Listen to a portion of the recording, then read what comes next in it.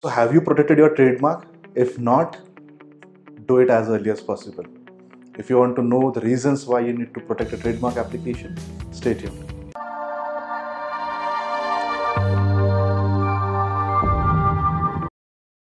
What is a trademark? Trademark means a mark capable of being represented graphically and which is capable of distinguishing the goods or services of one person from those of others and may include shape of goods, their packaging and combination of colors. Basically, trademark has to be unique. They give identity to your business and distinguish your products from the rest of the market. So this is the purpose for filing a trademark application.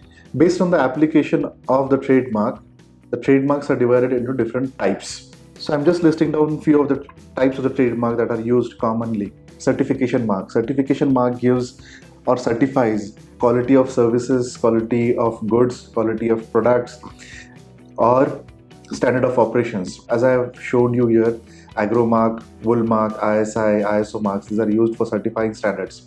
So these are called as certification mark. Next is collective mark.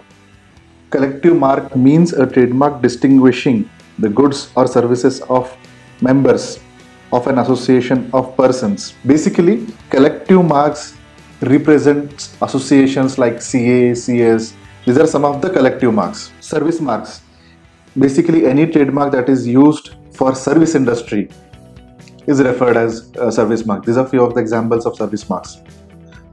Well-known marks are the trademarks that are considered to be well known in the society and have a blanket protection in all categories. For example, Bata. So no one can file a trademark for any other category of goods by the name of Bata. So this is what is considered as a well-known mark.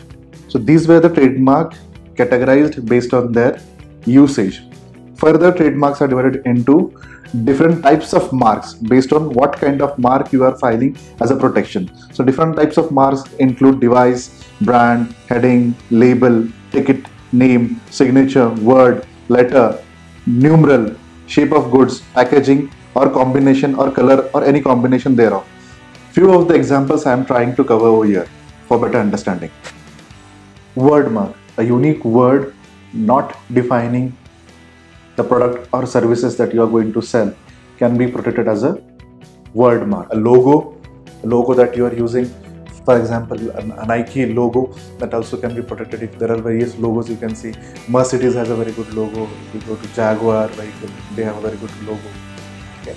So the symbol that is used for doing trade also can be protected.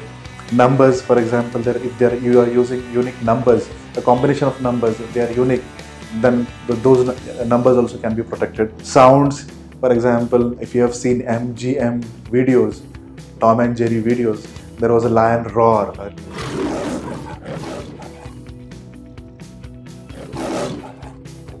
That is protected under trademark. Okay. The sound mark that is called as a sound mark. So nowadays many vehicles they have a unique horn. So those horns are also protected under sound marks. This is also a trademark. Colors, color and combination If you see some vehicles, if you see John Deere tractor, specifically from the distance itself you can recognize that is a John Deere tractor because they have a unique color combination of green. Some other examples of color combination marks. Cadbury, they have protection for the specific color. Christian Louboutin has recently won a case for red base shoes. So he's the only person who can manufacture red base shoes across the globe.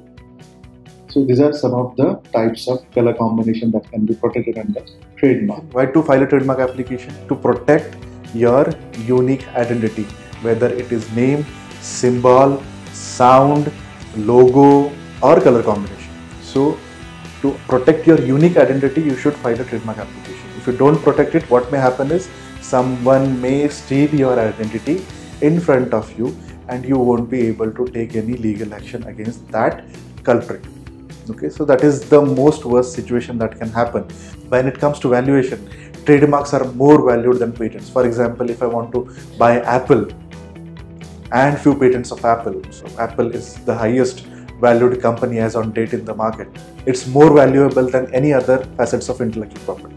The trademark also gives identity to your product. It becomes very easy for the buyers to identify your product. Even if you don't file a trademark application still you can file a litigation case. But in that case it will be very difficult to justify that you had a use prior to the use of another user so it becomes very difficult to justify that I was using this trademark from 2010 itself and this person came into the market in 2012 13 and then it becomes very difficult. The court has to go back and check all the documentation that you have provided, validate them, and then decide who is the authentic user and who has to be allowed to use this trademark application. Second worst thing can happen is, for example, I am using a trademark application from 2010. Someone started using the same trademark application in 2012 and he filed a trademark application. You have not filed a trademark application he can initiate a legal suit and at that time it will be very difficult for you to justify that I had a prior use. It's very difficult at that time. You may justify but it will take time and a lot of money to do so. So to avoid this kind of circumstances, I would recommend whenever you are launching a new product or doing any activity that will give your product an unique identity in the market, don't forget to protect your trademark. I hope you have liked this video. Don't forget to hit like button, subscribe to our channel to get more updates on intellectual property. Thank you.